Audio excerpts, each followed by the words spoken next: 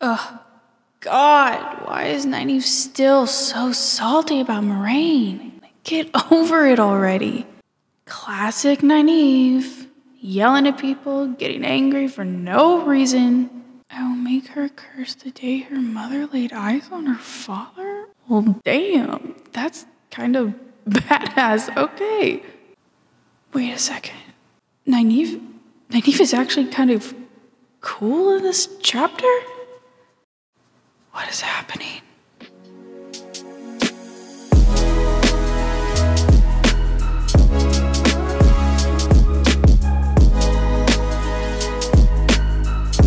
Welcome back to another video.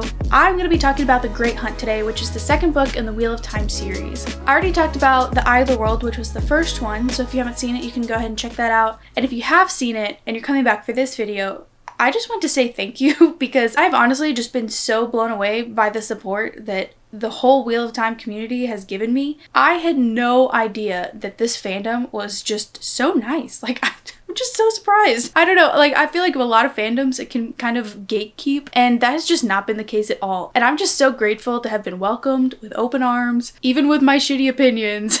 In the last video, I, I kind of had like a spoiler free and then a spoiler section, but going forward, I, I don't really know if that's going to be too feasible because there's just going to be like less and less to talk about in the spoiler free sections. So this video is mostly going to contain spoilers. Just heads up if you haven't read it, you might want to read it first and then come back. So first off, just some like overall things about The Great Hunt, I really loved this book. I think that I actually liked The Great Hunt more, which is kind of surprising because I really loved Eye the World. I don't know if it kind of had to do with the environment as well. This is like my favorite season, so I think it really played into it. It was the most wonderful experience just curling up and reading the book. I actually thought that the pacing was significantly improved as well. It definitely didn't feel like it was too slow in parts or it was meandering or just taking too long to explain things. I feel like something happened every single chapter. So I definitely think that that was an improvement from the Eye of the World. I also feel like the world just really expanded in this book. I mean, not only were we taken to different cities, but we also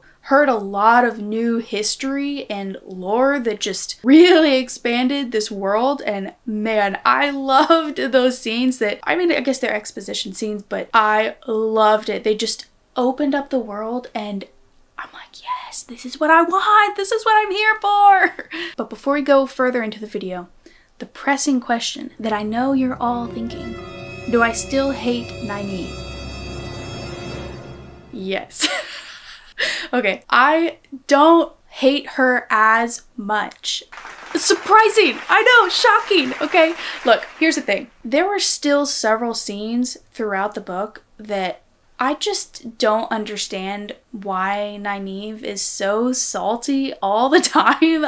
I don't understand it. I, I just don't fully get her hate towards Moiraine. Here's an example. I forget the exact context of what was going on, but she just kind of went on a little bit of a monologue about how much she hated Moiraine and what she did to Perrin, Mat, her, what all of them. She blames Moiraine for whatever happened to them, and it's not Moiraine's fault. And I don't understand how she could think it's her fault. Sure, she is manipulative in her own little way, and I think we as a reader get a better view at that than even Nynaeve. But I just I don't understand the saltiness. I just don't get it. Maybe it's like a self esteem issue, or she just has a hard time dealing with her anger in general. She has some growth work. That's all I'm gonna say about that. I, I will admit there was this line. I died laughing. Like I laughed out loud when I read it. She said, if I cry right now, I will kill myself. And I just thought that was so funny. I can appreciate Nynaeve for that. I can relate. Actually, I can't relate. I cry so often. But regardless, I thought that was hilarious. It was not a good moment for her, but it was funny and she was more relatable in that moment. But, but, the part that I actually started considering that maybe I didn't completely hate everything about Nynaeve, when they were like turned over to the damane and they had to like fight themselves out and Egwene got captured, then I actually started really liking Nynaeve because I think that she really started to channel channel her angry negative energy into something actually positive. And I started to like okay if you can actually have this kind of a growth and be maybe a little bit more uh, useful with your anger, then we could go somewhere and then maybe I'll start to like you a little bit more. The the one line where she said, "I will make you regret the day that your mother laid eyes on your father" or something like, "Oh my god. Okay. Okay. I like this." I read all of your comments and most of you were saying that you didn't really like Nynaeve at the beginning either, but you eventually grew to like her, and I still think that that is possible. I mean, just because I hate someone now doesn't mean that I won't like them in the future. I'm on the journey, and there was a little bit of a hint that that could change. And I'm hoping she uh, has some more like really epic badass lines. So the book pretty much opened where the last book left off, so there wasn't any like time in between or anything, and it really kicks off with the Amyrlin seat and that whole like conversation really sets off the conflict. That conversation with the Amyrlin seat and Moiraine was one of my favorites to date. That whole conversation I just thought was so good. Not only was it character development for Moiraine that it kind of shows a little bit more of her backstory, but it really opened up all of the political stuff that kind of goes on with the Aes Sedai that hadn't been shown to us yet. And I loved all of it. Like the whole brown and green and red and blue. Just so cool. I love all of the distinctions and how they're different from one another. Also, why are the red Ajah such bitches? I mean, I, I can understand their ideology and stuff, but like, why are they so rude? When they were in that conversation and they were like planning these things out, I immediately was like, uh, yeah, shit's about to go down. Everything that they're planning right now most likely won't happen because we all know if you make a plan, it's gonna go wrong. I also loved the, the scene where they were telling Rand about him being the Dragon Reborn. I love that they just kind of came out and said it and there wasn't a whole lot of dancing around the topic. They were just like, so come in, welcome, uh, you're the Dragon Reborn. it was just so casual. I just thought it was hilarious. I mean, I guess it's kind of like what Rand needs. He needs to be told something very straightforward, no confusion, even though he still was confused after and Rand. Oh, sweet Rand. I was really kind of annoyed though when Rand was kind of a jerk to Perrin and Mat for just a really dumb reason. I just really hate in books when friends are mean to their friends for manipulative purposes, even if it's like to help them or to save them. Rand wasn't actually feeling those things, he just wanted to protect them so that they wouldn't want to go with him. I just hate when people do that. Like, why? People aren't like that in real life. I hope. I just hate the manipulation aspect of it, even if it is for a good reason. Oh, I don't like it. It just feels bad. And then also, Perrin and Mat believed him? I mean, they've been friends for their whole lives. Can they not tell that Rand is not being sincere about this? And then also, when he tells them that he was like, oh, I was just being mean so that you wouldn't want to follow me, they don't believe him or accept what he's saying and are like, we still don't want to be friends with you. One, they should have caught on that he was lying. Two, you forgive your friends. I mean, he didn't say anything that awful.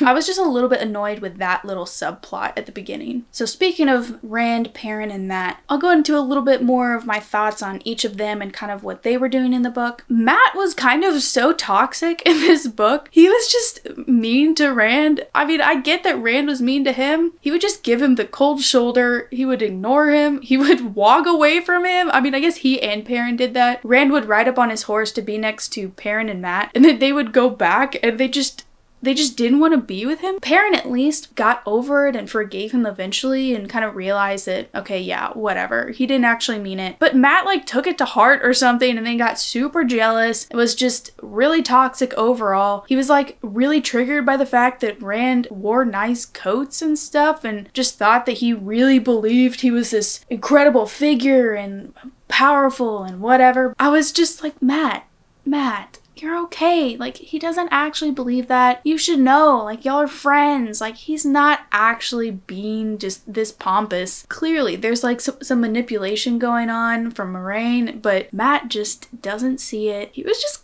kind of toxic and not a very good friend through most of the book. And he did eventually get over it, just at the very end though. Still wasn't like super crazy about Mat, but I think that now that he's not being as influenced by the dagger, in the next book he'll have a better personality or it'll kind of shine through a little bit more. Now, with Rand, I really, really liked Rand's character arc in this book. His slow descent into using the power more, it really did come across very seductive and very tempting to use. And he really like went from not wanting to use it at all, and he still doesn't want to use it, but he went from using it like once or twice to just slowly kind of talking himself into it and talking himself into situations and really you could feel like how seductive it was. I just thought that that was so well written on Robert Jordan's part, but it really showed how believable it is for the Dragon Reborns to actually go into madness. And I like that he was kind of slowly starting to accept that he was the Dragon Reborn throughout this book and also an Aiel, you know, because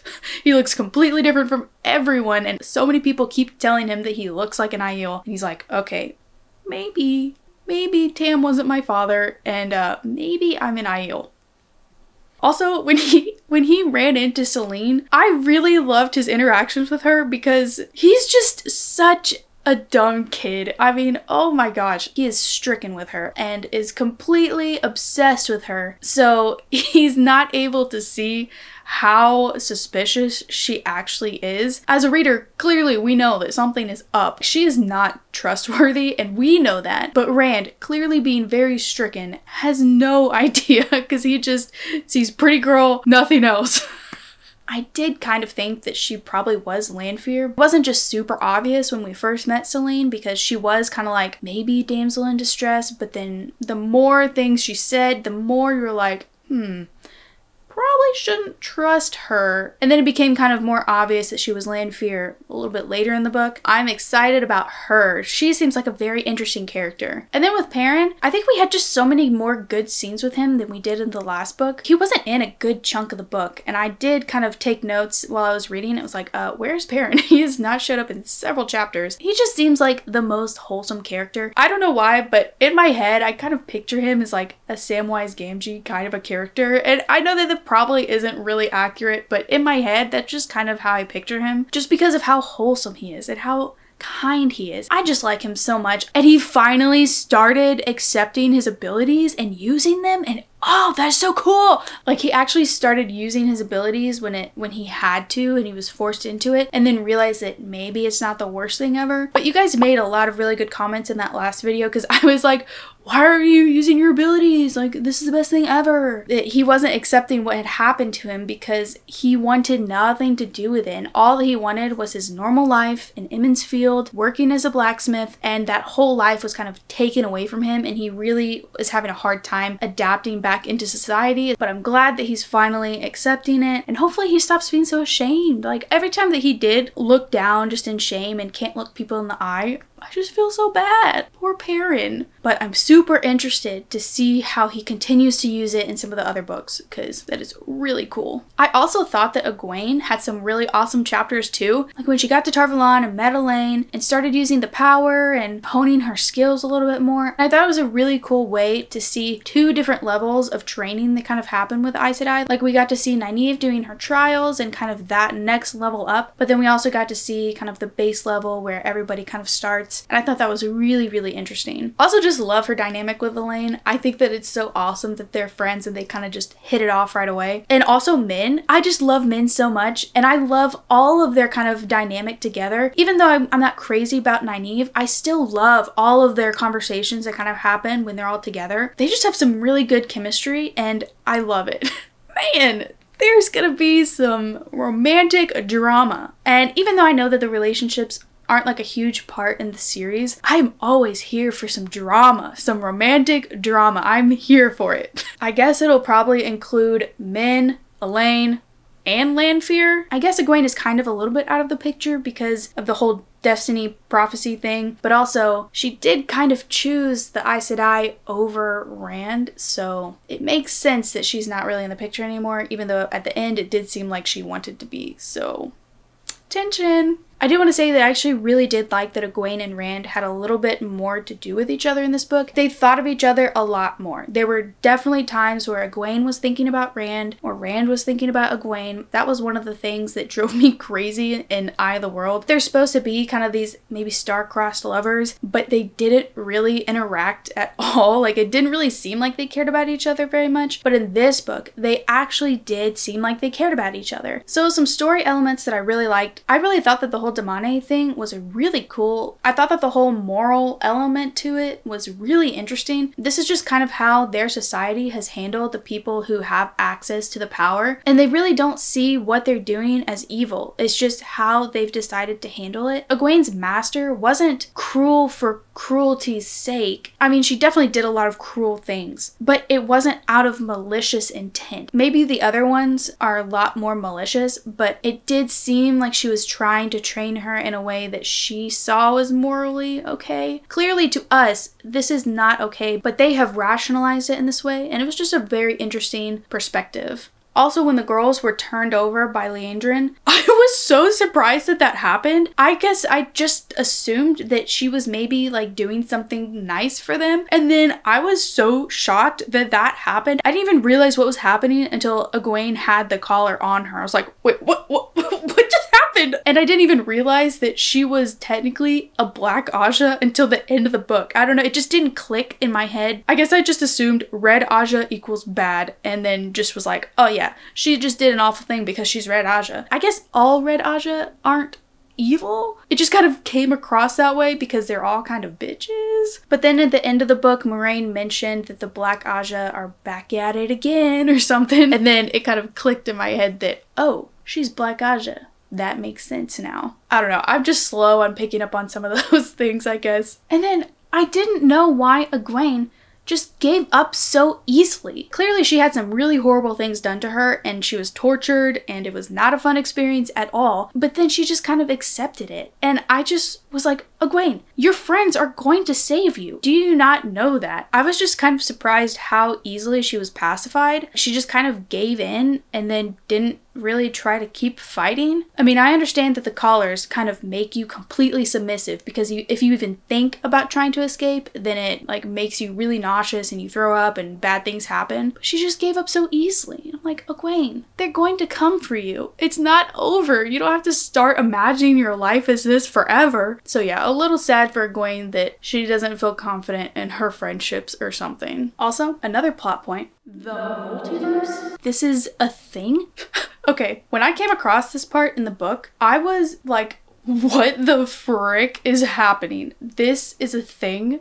In this series. I am very excited to see where that goes and what the heck is going to happen because obviously this is going to be a thing in the other books. I'm sure of it. I don't know to what extent. The fact that there can be these alternate realities and different dimensions kind of happening at the same time, I feel like opens up so much to happen and that could happen. It could go back and something be changed. This is kind of what I was talking about when I said the world just really opened up because the fact that there are multiple dimensions in this book series, in this fantasy book series. I was so surprised. I was not expecting it at all. I feel like anything could happen at this point. Another chapter that I loved is the What Might Be chapter. Holy crap. that was such an awesome chapter. I actually don't really know what happened, whether they lived like these multiple, multiple lives and they remember everything from them, or if they just saw like flashbacks from different parts of those lives and different multiple realities and different possibilities of what could have happened in their lives. But but I loved that whole chapter. I mean, it was so good. I just thought it was so interesting seeing these multiple different possibilities for Rand's life and the fact that he did kind of go crazy in most of them. So, little worried for Rand. And then also that everybody else in the party experienced that as well. That's kind of crazy. I, I just feel like it expedited the character development for all of these different characters in a way that is very realistic and kind of genius. So it doesn't really feel like it's cheating, it just feels like it's really brilliant. So I like that they all kind of leveled up through that experience and saw a lot of their faults and failures and things that they need to work on and things that they can't run away from. And I really like how that kind of played into the rest of the story and kind of helped them accept things that maybe they were running from. So well done. And then, of course, we have the ending of the book. And I just thought that it was so much better than The Eye of the World. Not only was I far less confused on what was going on, but I feel like it was so much more epic because it was on such a grander scale. I was honestly really surprised that Mat blew the horn. I guess I just completely blanked on that whole prophecy where Min saw him with the horn because I was really surprised. I was like, wait, Wait, Rand's, Rand's supposed to blow the horn! But that whole thing was epic when the heroes came down and we got to see these past figures. And the fact that they recognized Rand was so awesome. And Rand's just kind of like, all right, that's the last straw. I guess I am Lews Therin. I can't run from it anymore. Because they all recognized him. And I just thought that that was such a good moment. And then the battle in the sky was awesome. I can't wait to see how they do that in the Amazon series. I hope they do it well. But I really loved how that whole end battle when Rand was fighting the Dark One was tied to everything that was happening down below. It just made it seem much more grand, much more large scale, and like a lot more things were at stake. And I was actually kind of surprised surprised that that happened in this book. I don't know why. I just kind of thought that it would probably happen in like a book or two. But the fact that it happened in this book, I was like, okay, well, I have no idea where this this series is going now because this battle that I thought was going to be led up to for a while just happened. So what's next? just a few more things that I wanted to touch on before I talk about some negatives. Ingtar. When Ingtar died, I cried. I was a little bit suspicious of him throughout the book just because he was really wanting that horn like a little bit too much. But after the chapter where he kind of had multiple lives flash before his eyes, he kind of had that revelation. I'm just I'm just glad that he died with honor and that it was a good little redemption arc for him that ended well. And speaking of sad things, Thom's girlfriend what the heck? Why? Why did she have to die like that? That was so sad. I did like Thom in this book too, but Dena, she seemed great. She seemed like they were like a good thing, and then brutally was killed. What the heck, Robert Jordan? I also loved all of the like really stupid petty games that kind of went in Karhine. Here's the actual pronunciation. I know I'm pronouncing it wrong. Leave me alone. Look, I struggle with some of the pronunciation things. It seems like it should make sense as Karhine, okay? I think it's like Kira, Kirar, K, Karian? Oh god. Karian? Is it pronounced Karian? Karian? Karian? I don't know. Like, why? Why can't it just be Karhine? Okay. I just thought they were so funny, so dumb, and so petty. And the fact that Rand did literally nothing and then immediately got on everybody's radar because of it, I just thought was so hilarious. Also, in this book, uh, and Fain was like creepy as shit. In the last book, he kind of just came across to me as like a Gollum type character, and he seemed much more like a pawn of the Dark One and kind of a weaker character. But in this book, I think that completely got flipped on its head for me. Holy crap, he was terrifying in the dungeons. How does Egwene think that he's just fine to talk to? Oh my gosh. And he just seemed way more intimidating in this book and definitely seemed like someone who had influence and power and not just a pawn that was being used. Such an interesting development for this book, and I feel like he's going to play a bigger part in the other books as well. Kind of very interested to see where that's going to go. So there were really only like a couple of things that I didn't really love that happened in this book, and the first of which is they lost and found that horn so many times. I just hate when books juggle an item like that. I mean, they literally had it at the beginning, they lost it in the initial Trolloc attack, they went after it again, Rand and Loial got a hold of it, they had it in the city, they lost it in the city, they had to go to another city to get it, and they lost it literally right before Ingtar and the whole friends showed up. I just thought that was like, okay, is this really necessary that we have to do this five times and lose it over and over and over and over? so that kind of drove me a little bit crazy. And then I kind of already mentioned, but the fighting between Mat, Perrin, and Rand at the beginning of the book, I just found to be a little bit dumb because it didn't fully make sense. And it was just kind of a thing through a lot of the book and I just wasn't I just wasn't super crazy about that. And then I realized at the end of the book that Moiraine was barely in it. she was in the very, very beginning, and then she talked to Lan a little bit, and then she was doing some research in another city, but that was pretty much it. And I was kind of sad because I really like Moiraine, so